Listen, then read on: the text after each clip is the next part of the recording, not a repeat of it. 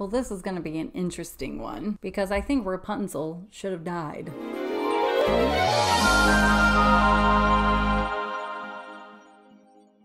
Hello, darlings, and welcome to Take Care, Darling. It's me, Care Darling, and today we're talking about the musical Into the Woods. If you don't know this about me, Into the Woods is my favorite musical. And I think the reason why I love this musical so much is that it, yes, it has all of these fantasy characters, but yet they're talking about topics that are so real. Growing up, becoming a mother, parents, feeling a sense of wanting to protect the young, but deep down they're going to choose what they choose, and also infidelity and dealing with these different types of relationships. So when Disney announced that they were doing Into the Woods, I was excited. I was so excited. And then it came out, and I just remember sitting there being a little disappointed. Now, I rewatched the movie recently. I think the way that I look at this movie isn't as harsh as when I first saw it. I think what they did in the music, the music, the music, I think what they did in the movie um, was to make it realistic yes this world is is fantasy and fantastical we have giants witches wolves um, but I, I enjoyed it. I did question about Johnny Depp being the wolf, but yet he still looked like a person. But then I realized actually that was a great choice, and I'm behind it now. Here are some things I wish that they did with the movie that would have helped it a lot. One, they should have had the song No More Questions. I remember when I first listened to the soundtrack, that was the song I would skip. And it wasn't until I watched the DVD and I didn't want to skip through it and I understood what this song actually meant and I every time I hear it I can't help but cry. The baker having a struggle of knowing himself and his value of being a father because he wasn't raised by his own father only to revisit him and to understand that he needs to change his decision and go back to his own son because he doesn't want to repeat history of what happened to him and that song oh Another thing I would have adjusted was the casting of Jack. This kid, he's talented, but Jack to me was someone that was in their late teens, and Jack is not smart. and that's not something being negative about him, that's just a part of his character. And the way the dynamic was between Jack and his mother in the movie was that the mother seemed a bit more abusive. Oh, yeah, but why do we have to go to the next village? Because everyone in this village knows the cow hasn't given a drop of milk in weeks. But that's cheating. We're starving, Jack. Don't you understand that? Now, you're not to accept less than five pounds for her. Are you listening to me? Yes.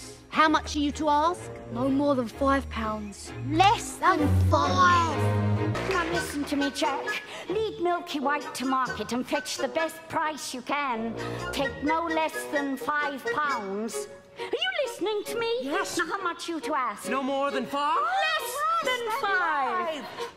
Into the woods to sell a friend. Someday you'll have a real pet, Jack.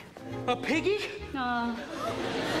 Something I can forgive, but I still think it was needed, is that in the musical, the steward hits the mother on the head and that's how she dies. In the movie, it's just that the steward pushed her and she hit her head on a tree and then she dies. A lot of the choices was because Disney wanted to have a lower rating so that the family can come and see the movie. But one of the things they did, it took away the biggest part of the musical, and that is Rapunzel's death. In the musical, it's showing the relationship of the witch who made herself the mother of Rapunzel and she stole Rapunzel from someone else.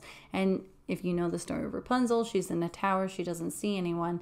And they go off of the Grimm fairy tales when they're doing this musical. What happens is the witch catches Rapunzel seeing the prince, cuts her hair, bans her to go into the desert and she bore twins on her own. And the prince, she did something where the prince fell into the thorns and hit his eyes. Now, what they did in the movie, and yes, it's similar, the prince does hit his eyes and go blind. Um, but instead of Rapunzel boring twins, they put her in a swamp where she was just with all these scary snakes and such. So I could have let go, like, okay, sure, she didn't bore twins, that's fine. But Rapunzel was so important in the story because she represents um, mental health. And because of all of the abuse that she endured, that she didn't even realize she was being abused until she met someone outside of the tower, it hits her how wrong the witch treated her. So in the musical, it's actually showing her scream and run through the forest, and the prince going, Rapunzel, you know, trying to chase her and find her because she's having a hard time finally being in this outside world. So the musical does a great job with the relationship between the witch and Rapunzel because there are moments you laugh, but then as quick as you were laughing about something, you're quick to feel sorry for the witch because the witch had to kidnap someone and raise them and lock them from everyone else to feel loved.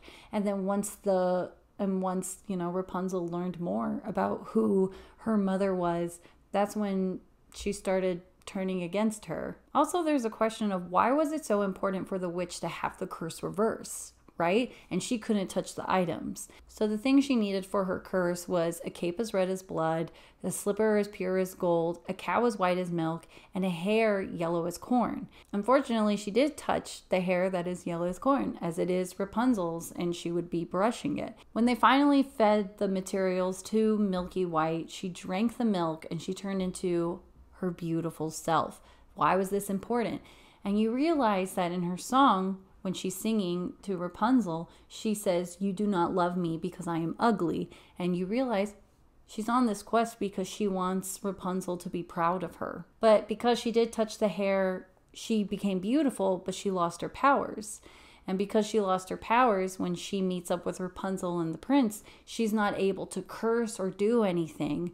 And this actually gives Rapunzel her first moment that she can make a choice and that she is free and that she is growing up, but unfortunately, the damage has been done to her from her own mother. Let's get to the point of why Rapunzel should have died. Let's get into that scene.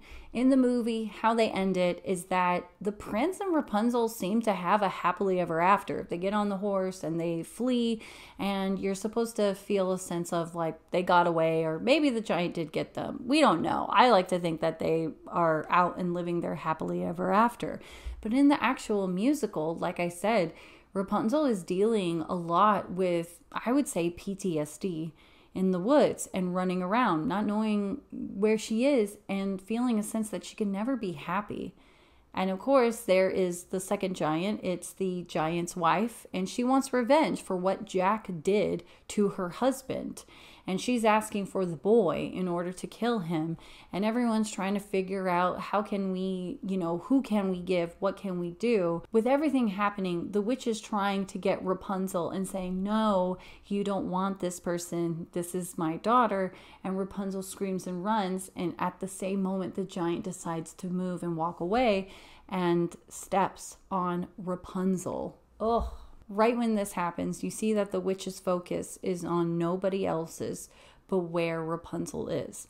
And she sings the song, No matter what you say, children won't listen. And to me, this is where the witch is propelled to say, Screw it, let's give her the boy.